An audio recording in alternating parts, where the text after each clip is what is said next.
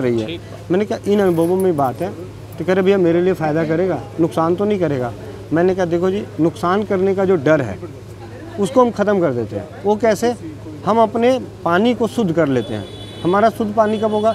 जब हम गलत आहार ख़त्म कर देंगे। क्योंकि बीमार आदमी एक तो ऐसे पत्थे पे आ जाता है। वो अपना पत्थे बिगाड़ मतलब जो होता है वो सारी चीज़ें प्राकृतिक चीज़ें खानी शुरू कर देता है टाइम से खाता है टाइम से करता है, मिर्च मसाले बंद कर देता है जंक फ़ूड कम कर देता है, चाहे वो कैंसर का रोगी हो डायबिटीज़ का हो, परहेज पे आ ही जाता है।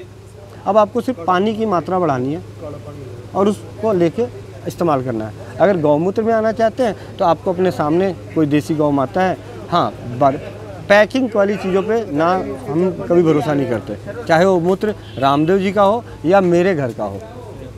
तो अपने घर में गौ गौ माता है। गौ माता के शरण में जाइए क्योंकि मेरे पिताजी का साढ़े छः सौ शुगर था। इंस्पेक्टर थे। उन्होंने एक महीने गए गौ माता की सेवा करी मूत्र पिया और अल्सर और अल्सरेटिव कोलाइटिस और कैंसर डायबिटीज़। तीनों को एक महीने में नष्ट करके आके आराम से चार साल की नौकरी कर ली। चार साल के जो बाकी थे वो उन्होंने नौकरी करी द्वारा तो, तो ये चीज़ों के प्रति हम जागरूकता हाँ हूँ। कि स्वमूत्र चिकित्सा में भी और गौमूत्र चिकित्सा में कब कितना कैसे ले? हाँ, हाँ वो मैं मैं वो बात ये तो आप बता हाँ तो ये इसके लिए क्या है कि जैसे जैसा रोग मान लीजिए कैंसर रोगी है अब कैंसर रोगी को यहाँ जख्म हो रखा है। अब स्वमूत्र चिकित्सा से उस जख्म को ठीक करना है। तो हम स्वमूत्र में है कि मालिश करनी है और पट्टी करनी है। अगर जख्म ज़्यादा दर्द वाला है तो मालिश कर नहीं सकता तो फिर क्या है? गीली पट्टी रखेगा और ज़्यादा से ज़्यादा देर तक रखे। तभी असर जल्दी करेगा, ज़्यादा करेगा। ये हो गया। मात्रा, जो कैंसर रोगी है, अब वो क्या करेगा, भाई, वो पूरे दिन में सौ सौ एम एल, पचास पचास एम करके पूरे दिन का मूत्र पिए। और अगर मेरे जैसा साधारण इंसान है, हम रोगी बनना ही नहीं चाहते तो अपना सुबह शाम पी लिया। उससे, और जो साधारण रोग से ग्रसित है, अभी एक बिरासी साल के बुज़ुर्ग आए, जब मैंने उनसे बात करी कि मूत्र चिकित्सा, मैं उनको बोलना चाह रहा था, स्वमूत्र पे लेके जाना चाह रहा था बातों बातों में। तो क्योंकि गरीब आदमी है, कुछ नहीं मिल सकता तेल लगाने वाली बीवी बच्चे न मिले, तेल ना मिले।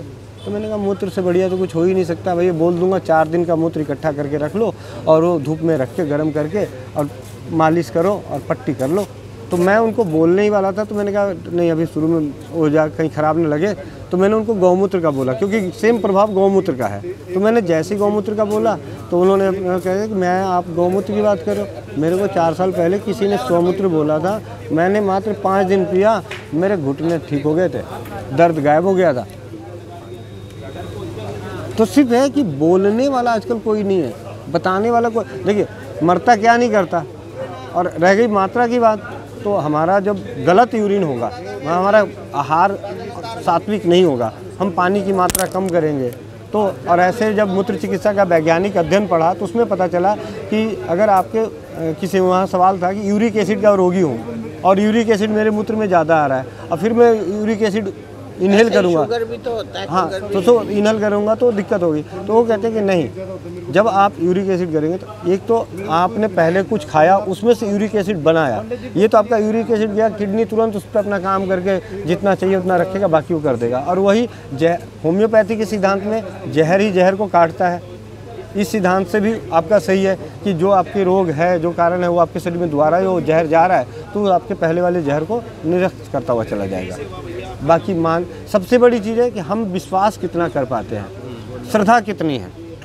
विश्वास और श्रद्धा है तो सब चीज़ है नहीं तो कुछ नहीं है नहीं तो वो सवाल खड़े और वो सारी चीज़ें तो बहुत सारी चीज़ें में तो हाँ। और आज आज चिकित्सा का व्यापार इसीलिए चल रहा है कि उन्होंने हमारा फेथ ही ख़त्म कर दिया। उन्होंने हमारा फेथ ही ख़त्म कर दिया। चलिए यू अच्छा है गोविंद जी जी। Vande Mataram Vande Mataram please please